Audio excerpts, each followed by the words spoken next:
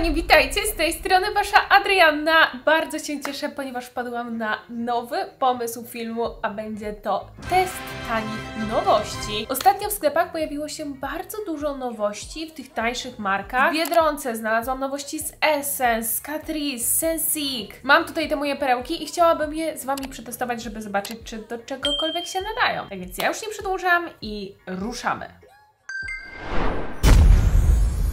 Okej, na początku zaczniemy od nowości z Essence, dlatego że pojawiła się tam nowa seria Chili Vanilli i z tej serii mam gąbeczkę, która jest gigantyczna. Zobaczcie, ta gąbeczka jest wielka. This is gigant. I jednocześnie przetestujemy sobie podkłady. Są to nowe podkłady z Bell, które znalazłam w Biedronce. Są dwa odcienie, więc naprawdę bardzo mało odcieni do wyboru. Ale dobra, sprawdźmy. Na początku ten jasny. O wow! Jest naprawdę jasny i bardzo ładny. Taka właśnie wanilia. Bardzo jest też płynny i mam jeszcze odcień Simple Beige, który na pewno będzie dla mnie za ciemny. A, dobra, e, zostaniemy sobie na pewno przy tej jedynce, bo ta dwójka, mm, mm, nie dla mnie, nie dla bladzioszków. Dobra, idę zmoczyć tę gąbkę. No ona jest gigantyczna, ona wygląda jak po zmoczeniu. Obniżę Was trochę, bo mam wrażenie, że jesteśmy trochę za daleko. Dobra, zmoczyłam już tą gąbeczkę i spójrzcie na to. To jest, to jest, to jest gigant. To jest po prostu absurd. To jest gigantyczne. Jakie bydle! Tak, dużej gąbeczki do makijażu to nie widziałam nigdy. Ale jest też bardzo miękka. No nie wiem, co to Essence wymyśliło, no ale sprawdźmy. Może chociaż dzięki temu makijaż zaaplikuje się bardzo szybko. Jeżeli chodzi o ten podkład z Bell, to ma to być trwały podkład z kwasem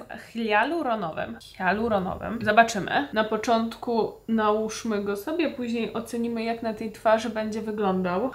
Ta gąbeczka jest wielka, ale bardzo, bardzo mięciutka. Odcień tego podkładu jest naprawdę ładny, ale chyba trochę za jasny. No szkoda, że wyszli tylko z dwoma odcieniami, bo to naprawdę nie jest dużo. Jak na podkład, on, dwa odcienia to trochę za mało w tych czasach. No ale jeżeli chodzi o tą gąbeczkę, to bardzo wygodnie mi się nakłada makijaż, no bo ona jest gigantyczna. Kończę nakładać ten podkład, jej zdecydowanie jest za jasny, naprawdę no ta ilość odcieni do wyboru to jest duży minus, ale wygląda na twarzy bardzo ładnie. Nie powiedziałabym, że jest to jakoś bardzo kryjący podkład. No dla mnie ma bardziej takie naturalne wykończenia. Wydaje mi się, że jestem taka blada. Zobaczcie na różnicę ciało a twarz. A jeżeli chodzi o gąbeczkę, to całkiem przyjemnie mi się jej używa, bo mimo, że ona jest taka gigantyczna, to jest mięciutka i można ją fajnie zgnieść w dłoni i zrobić tak naprawdę taki kształt, jaki chcecie. Więc wbrew pozorom jest to bardzo wygodne. Jeżeli chodzi o ten podkład, ja tutaj jakiegoś cudu nie widzę, ale jeżeli chodzi o gąbeczkę, to jest naprawdę przyjemna. Jeżeli lubicie robić makijaż tak szybko, chcecie tylko kilka tapnięć i twarz już jest pokryta podkładem, to może warto się zainteresować nowością z Essence. Tak podkład wygląda na zbliżeniu?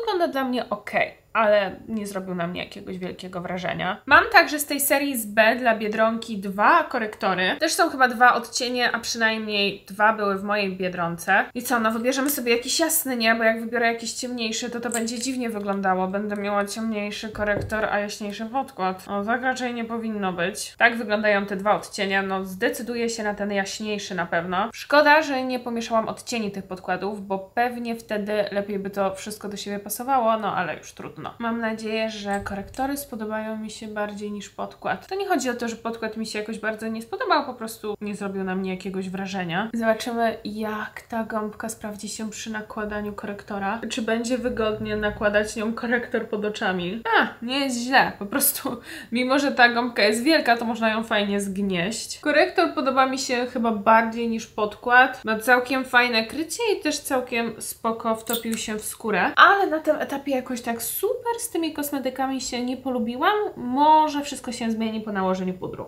Wklepię sobie jeszcze trochę tego korektora za pomocą pędzelku. Jednak trochę trudno jest, wiecie, dojść do każdego miejsca tą gąbeczką. Powiem Wam, że ten korektor w sumie jest całkiem niezły. Naprawdę polubiłam się z nim bardziej niż z podkładem. Za tę cenę troszkę powyżej 10 zł to jest to naprawdę fajny produkt. Jakiegoś wielkiego wrażenia na mnie nie zrobił, ale też na pewno nie jest bublem. Ten podkład też nie jest. Po prostu nie zachwyciły mnie. Wiecie o co co chodzi. Nie wiem właśnie o co chodzi. Dobra, ja sobie teraz szybko nałożę puder i spotykamy się, jak już je zaaplikuję, bo w tych nowościach niestety pudru żadnego nie było. No, tak naprawdę, jak Wam mówiłam, wszystko rozstrzyga się wtedy, kiedy nałożycie puder. Jak nałożyłam puder, to ten podkład i ten korektor zaczęły mi się podobać dużo bardziej. Powiem Wam, że jak za tę cenę, to jest naprawdę fajne wykończenie. Tam na tej twarzy nie jest wszystko super zakryte, prześwitują mi jakieś niedoskonałości, ale wszystko wygląda bardzo naturalnie, twarz jest ujednolicona, podkład nie stworzył efektu ciastka, wszystko wygląda bardzo naturalnie, więc ja bym powiedziała, że po nałożeniu pudru na plus. Bo wiecie, bez pudru to ciężko stwierdzić, bo twarz jest mokra, świeci się, jeszcze nie wiadomo jak będzie, ale teraz twierdzę, że naprawdę spoko. Więc jak na razie i ta gąbeczka, i ten podkład, i korektor mi się sprawdziły. Teraz sprawdzimy sobie bronzer. Ja ten bronzer kupiłam w naturze, jest to marka Sensic. Bardzo niedroga marka, produkująca kosmetyki do twarzy. Uuu. I spodobało mi się, że ten puder ma taki naprawdę ładny, w miarę chłodny odcień. Wydawał się być fajnym odcieniem do konturowania. Zobaczymy jeszcze, jeszcze pachnie czekoladą, bo to jest takie opakowanie w stylu czekolady.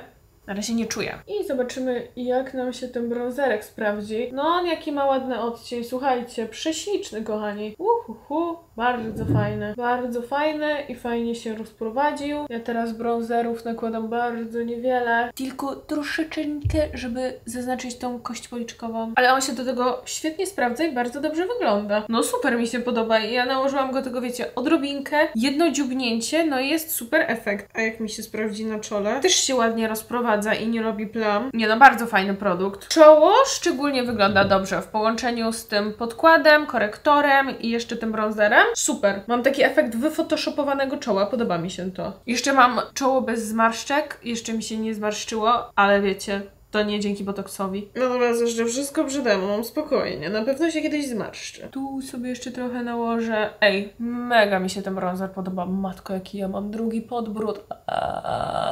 Bronzer ekstra. Jeżeli szukacie niedrogiego bronzera w ładnym opakowaniu, z fajnym odcieniem, super się rozprowadzającego, nie robiącego plam, idealnie. Bardzo mi się dobrze go używało. I teraz przechodzimy do ciekawszych dla mnie rzeczy, bo przejdziemy do różu. Róże mam akurat trzy, więc będziemy się dzielić. Na jedną część twarzy nałożymy jeden, na drugą drugi. I słuchajcie, z Catrice znalazłam tak świetny róż, dlatego, że to jest róż y, w stempelku, który daje nam kształt serduszka. To pewnie jakaś kolekcja walentynkowa, ale no już jest nie szkodzi. Ja nadal chcę to przetestować. Mimo, że minęły walentynki, my nadal możemy chodzić w serduszkach. No Boże, jak to jest zamknięte, no. No niby dobrze, bo porządnie, ale niedobrze, jak ktoś jest taką ciapą jak ja i później nie może otworzyć. Dobra, rozbroiłam go. Mamy róż i mamy do tego gąbeczkę w kształcie serduszka. Róż jest na jakby takiej membrance, trzeba pewnie będzie to nacisnąć, on tam jest w środeczku. Fajnie jest to pomyślane, bardzo ładne jest to opakowanie. Były dwa odcienie do wyboru, był jeszcze w bardziej takim pomarańczowym odcieniu i są jeszcze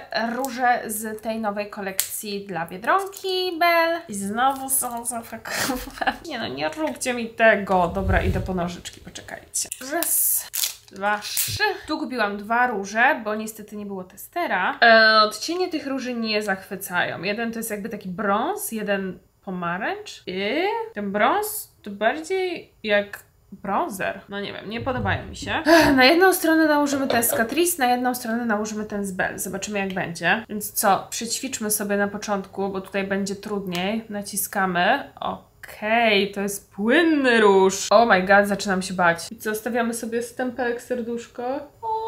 Jakie to jest urocze. Świetnie to wygląda. Ale postarajmy się to teraz rozblendować. Oh my god, mam nadzieję, że to się rozblenduje, a nie zostanie takie serce. Może za mocno nacisnęłam. W ogóle on jest mega napigmentowany, spójrzcie, i ma przepiękny odcień. U, trochę mi zostało to serduszko, trochę za mocno nacisnęłam, więc staram się rozblendować dobrze. Trochę za dużo go nałożyłam. On jest naprawdę bardzo intensywny, ale podoba mi się ten odcień. Trzeba po prostu nałożyć mniej i lżej. Wtedy nie będzie takiego mocnego efektu jak u mnie. Ale tak to mi się podoba. Uważam, że jest to ciekawy koncept. Też to opakowanie jest takie fajne. To, to jest fajna zabawka. Eee, I który z tych kolorów będzie nam pasował do tego? Żaden dosłownie. Więc użyjmy tego brązowego. Już z dwojga złego chyba wolę ten. Z dwojga złego lepiej w tę stronę, co nie Fiona? Żaden nie będzie pasował. I jak sprawdzi się ten, no Ten jest znacznie mniej napigmentowany, bo nałożyłam pierwszą warstwę i nie widać na razie nic. Tutaj trzeba go nałożyć znacznie, znacznie więcej. No średnie to jest. I ta pigmentacja, i te odcienie. No coś tutaj się już pojawiło. To jest bardziej taki brązowy odcień, może taki na lato, bardziej podkreślająco paleniznę, nie wiem. No ten odcień mi się nie podoba, ale sam róż dobrze się rozprowadził, więc jeżeli podoba Wam się odcień, no to go for it. Może to jest to, czego szukacie. Jaka to jest po prostu różnica. Tutaj mam tak intensywny ten róż, aż za intensywny, a tutaj mam tak zbrązowioną twarz. Chyba ta część podoba mi się jednak bardziej, bo tu wygląda to tragicznie. Powiem Wam, że jak tak patrzę się w lustro, to chyba jednak wolę tę część. Szkoda, że nie mają fajniejszych odcieni e, z tego Bell, bo naprawdę fajnie się rozprowadziły. Ach, trochę jestem przerażona tym efektem, bo tutaj jak pada światło, to tak fajnie to blenduje, a jak patrzę na to na żywo, to tak... E, Wygląda to trochę koszmarnie. Próbuję nałożyć trochę podkładu, żeby to zakryć. Najwyraźniej zrobiłam po prostu za mocny ten kleks. No ale to jest test pierwsze wrażenie, wiadomo, można się pomylić. Ok, po nałożeniu podkładu wygląda to trochę lepiej. No bo to już było po prostu, to już było za mocne. O, teraz jest znacznie, znacznie lepiej. Już teraz go tak rozniosłam po całej twarzy, że mam wrażenie, że mam go i tutaj. Bardzo szkoda, że Bell nie stworzyło lepszych odcieni tych róży, bo naprawdę mają fajną formułę. Nie się, ale po nałożeniu tych produktów chyba jednak powiem, że te z Bell są fajniejsze i nawet przekonałam się trochę do tego brązowego odcienia różu. Taki ceglasty róż nie jest zły. Myślałam, że będę w tym wyglądała tragicznie, a nawet mi się podoba. I jak moje emocje opadły co do tego różu z Catrice, to powiedziałabym, że jest to fajna zabawka, ale nie wiem, czy jest do końca potrzebna i można sobie nią narobić więcej problemów niż pożytku. Więc nie wiem. To jest chyba zabawka, a mój zdrowy rozsądek mówi, że jednak te byłyby lepsze. Szkoda tylko, że z tego Bell nie dali lepszych odcieni. No ale trudno. Mówi się trudno i płynie się dalej, płynie się dalej, płynie. I przejdźmy teraz do rozświetlaczy. Mam tutaj trzy do wyboru. Jeden rozświetlacz to rozświetlacz z Catrice w takim przepięknym opakowaniu serduszko. Jak to mówiłam, to się cała oplułam. Bardzo ciekawy rozświetlacz z Essence, z tej nowej kolekcji Chili Vanilli i rozświetlacz z tej kolekcji Bell. Zaraz je sobie wszystkie pomacamy. No według mnie ten z Catrice ma przepiękne to opakowanie. Uuu, jest też piękny w środku. No to jest opakowanie jakiegoś, to jest jak opakowanie jakiegoś wysokopółkowego rozświetlacza. Mamy jeszcze to Catrice i tu jest rozświetlacz do twarzy i do ciała. On jest zamknięty w takim też ciekawym pojemniczku. Zobaczymy jak się sprawdzi. O, w ogóle ma bardzo fajny skład, bo jest tu mnóstwo olejków, na przykład olejek jojoba. Mm, naprawdę dużo takich odżywczych składników. I rozświetlacz z Bell taki najmniej interesujący. Dobra, na początku nałóżmy ten Catrice, bo jest piękny. Staram się zrobić tak, żeby wszystkie trzy nałożyć na twarzy. Nie wiem jak mi to wyjdzie, ale ten z Catrice jest przecudowny. On jest w takim bardziej złotym odcieniu. No dla mnie zrobił takie fajne glow. Nie jest super mocny, nie wygląda sztucznie, ale coś na tej twarzy widać. Dla mnie odcień jest ok, drobinki też są fajne, jest mielone. Trochę widać brokatu, ale nie jakoś bardzo dużo. Naprawdę bardzo fajne. Na drugą stronę nałóżmy sobie może ten SS i nie mam pojęcia jak go używać. A, Boże, ja myślałam, że to jest gąbeczka, a to jest już ten rozświetlacz. Okej, okay, dlatego on ma tyle w sobie olejków, bo on jest w takiej oleistej formie. Uuu, teraz wszystko jasne. A jak my go mamy użyć? Podejrzewam, że mamy po prostu tak przejechać nim w ten sposób. Okej, okay. może w ten sposób. Okej, okay, okej, okay, okej. Ma taką naprawdę oleistą konsystencję. Ym, nie podoba mi się. Przez to, że on jest taki oleisty, to niestety, ale trochę ściąga podkład. Zobaczcie, trochę podkładu się na nim znajduje. No bo jednak olejki będą te podkłady nam ściągały. I też nakładane z tego opakowania nie wygląda za dobrze. Dużo lepiej wygląda jak nałoży się go gąbeczką. Wtedy też mniej ściąga podkładu. Ale on ma trochę taki holo efekt. On ma taki zimny odcień. Jakieś mamy tutaj drobinki fioletu, niebieskiego. Nie wiem, czy mi się podoba. Nie podoba mi się.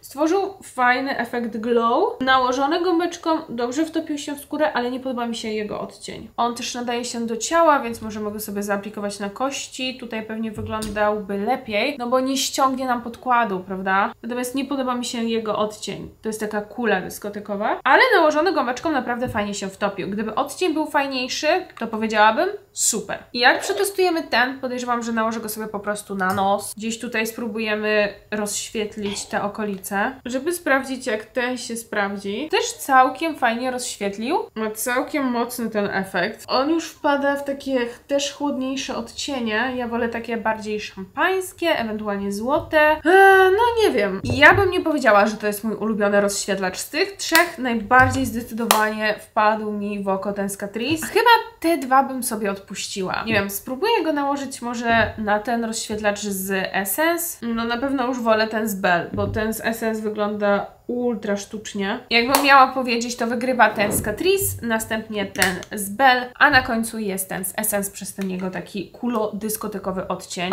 Mam również Sensic paletkę, ale na początku zanim jej użyję, to przetestuję jeszcze balsam z Essence i on ma być balsamem nawilżającym, który do tego da nam efekt lekko zaróżowionych ust. Podoba mi się, bo on wygląda w opakowaniu trochę jak taki marmurek. Zobaczymy, czy usta zmienią trochę odcień pod jego wpływem. O, fajna konsystencja, jest taki... Mm. Bardzo woskowaty. I tak, chyba robią się bardziej różowe. Nawet dużo bardziej różowe. Ojej, Trochę rzeczywiście te usta pokolorował ten balsam. Nie wiem, czy jest to mój ulubiony odcień różu, ale wygląda ok. No, zdecydowanie te usta wyglądają tak świeżo. Jak nie lubicie malować swoich ust, albo chcecie uzyskać taki bardzo delikatny efekt i jednocześnie mieć nawilżenie, to to jest ciekawe, powiem Wam. Ale zobaczymy, jak będzie po czasie, a teraz sprawdźmy tę paletę Sensic. Uuu, jaka ona piękna, zobaczcie. No, powiem Wam, że przecudne ma te odcienie. Duże też okienka, wygląda bardzo drogo ta paleta. Nie wygląda to to zdecydowanie jak paleta z tańszej marki. Mamy też lustereczko, to jest super. Dobra, a zobaczmy jak z pigmentacją. Super i do tego mega miłe w dotyku są te cienie. Zobaczcie jak są fajnie napigmentowane. Okej, okay, let's go! Musimy to sprawdzić. Na początku sprawdzę ten beżowy. Jaki on jest napigmentowany, ależ to ja już czuję, że ja się z tą paletą polubię. Ale ekstra, naprawdę. Brakowało mi jednej paletki z takimi fajnymi odcieniami. Teraz użyję tego odcienia Carmel. W ogóle podoba mi się, że jest czerń, bo wbrew pozorom Czerń teraz rzadko występuje w paletkach i trochę mnie to denerwuje. Ja, słuchajcie, to uwielbiam właśnie paletki w takich odcieniach brązów. Ja lubię robić takie naturalne makijaże. Nie no, ta paleta jest super napigmentowana. To jest hit, to będzie chyba hit tego odcinka. To jak te cienie są napigmentowane to jest szok. One się zachowują jak cienie jakiejś bardzo drogiej marki, a nie niskobudżetowej marki Sensic. Pytanie tylko, czy pachną? Nie czuję, żeby pachniały, ale też nie pachną brzydko. Natomiast chyba nie pachną czekoladą, jeżeli Wam na tym zależy. Mi nieszczególnie. Następnie użyjmy tego trochę ciemniejszego. No ja, słuchajcie, o Jezu, nałożyło mi się za dużo. Strzepię, bo to będzie błąd, ja już to widzę. Ona jest naprawdę mocno napigmentowana. Słuchajcie, ta paleta to będzie hit, naprawdę to będzie hit tego odcinka, bo jest super. Ja uwielbiam takie tanie hicioszki. Nie no, powiem Wam, że tą paletą jestem zachwycona i zachwycona jej odcieniami. Nie mam pojęcia, na który z tych świecących odcieni się zdecydować, bo wszystkie są po prostu przepiękne. O Jezu, są jeszcze tak super napigmentowane. Nie mam pojęcia. Wszystkie są piękne, wszystkie są też trochę podobne do siebie. Nie mam pojęcia, nie wiem. Coś mi podpowiada, żeby wybrać ten odcień. Mam ochotę na ten. I zobaczmy. O! Jaki on jest piękny. To była dobra decyzja. Jest po prostu przecudna ta paleta. O nie. Ja się w niej zakochałam. No zobaczcie, jak te cienie genialnie wyglądają. I jeszcze nałożę ten czarny, żeby zagęścić trochę linię rzęs. Ja rzadko chodzę w eyelinerze, ale nakładam sobie trochę czarnego odcienia między rzęsami, żeby tych rzęs wydawało się być po prostu więcej i żeby to oko zaznaczyć. Ja słuchajcie, jestem w tej paletce zakochana. Moim zdaniem te cienie są świetne. Szybko jeszcze sobie wytuszuję rzęsy. Nie widziałam w nowościach żadnego tuszu, więc użyję tuszu z Miss Sporty.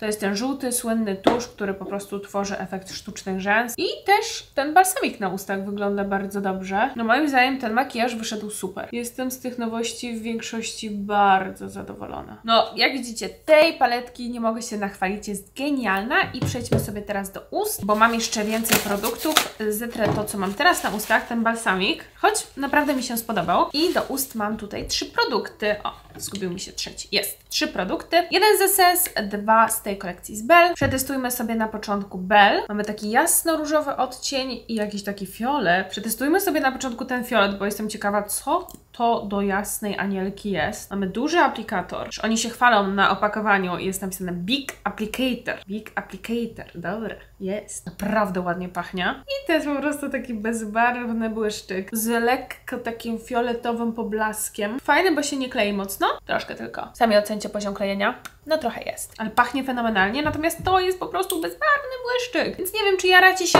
sytnym na rynku bezbarwnym błyszczykiem? Ja nie. Wycieramy go. Teraz sprawdźmy ten róż. O matko, jaki on jest Barbie. To jest taki mleczny róż i tu jest akurat zapach arbuza, takiego sztucznego, takiego w gumie balonowej. Zobaczcie, na początku jak się nakłada, to on jest taki bardzo biały Barbie, ale jak go rozprowadzicie, mm, to zmienia się w sumie w bezbarwny. Z lekko takim efektem pokolorowania na różowy. No spoko, no to jest też bezbarwny błyszczyk tak naprawdę. Nic fenomenalnego. To już chyba wolę ten, bo nie ma tego denerwującego różowo-jasnego odcienia na ustach. No i mamy jeszcze błyszczyk z Essence z tej kolekcji Chili Vanilli i to pewnie też będzie bezbarwny błyszczyk. Markom jak nie chce się nic robić, to chyba robią bezbarwne błyszczyki. Ale ten wygląda ciekawiej, bo ma chociaż w sobie jakiś brokat. To jest też po prostu bezbarwny błyszczyk z lekką ilością brokatu. Ale on jest fajny, bo on się nie ciągnie i bardziej Mhm. On się bardziej zachowuje jak olejek do ust. Znacie ten słynny olejek z Diora? To on dla mnie daje podobny efekt. No on się w ogóle nie ciągnie. Naprawdę, nie czuć tego na ustach właśnie jako błyszczyku, tylko czuć jako taki olejek. Zobaczcie. Zero ciągnięcia. On jest bardzo fajny i super przyjemny na ustach. No dobra, makijaż skończony. Jak widzieliście, na razie moim wielkim ulubieńcem jest ta paleta, ale zobaczymy jak to się wszystko utrzyma i jak będzie wyglądało po kilku godzinach. Kochani, przychodzę do Was po kilku godzinach, ubrałam się w bluzę, bo jest mi zimno i powiem Wam, że jestem z tego makijażu bardzo zadowolona. Według mnie wszystko utrzymało się naprawdę fajnie i po kolei. Gąbeczka super, podkłady prócz kolorów super, korektory także mi się sprawdziły. Absolutnie zakochałam się w tym bronzerze. Ta paleta po prostu hit tego odcinka. Paleta dostaje koronę. Jest to po prostu jedna z lepszych palet, które ostatnio testowałam. Rozświetlacz z Catrice także świetny, w przepięknym opakowaniu. Rozświetlacz z Essence mech. Rozświetlacz z Bell taki se. Błyszczyki z Bell mech. Róże z Bell spoko, tylko ich odcienie mi się nie podobają. Róż z Catrice bardzo ciekawy, ale trzeba na niego uważać, bo można zrobić sobie plamy. Olejek z Essence fantastyczny, jeżeli szukacie tego typu produktu. I balsam z Essence również mi się spodobał. Więc jak widzicie, te nowości naprawdę mi się spodobały. Mam tutaj wiele hitów. Przede wszystkim ta kolekcja z Sensic. Napiszcie mi, czy mielibyście ochotę coś z tego kupić? Czy coś Wam się spodobało? Ja jestem z tego filmu bardzo zadowolona i żegnam się z Wami i widzimy się już niedługo. Pa, pa! Do zobaczenia!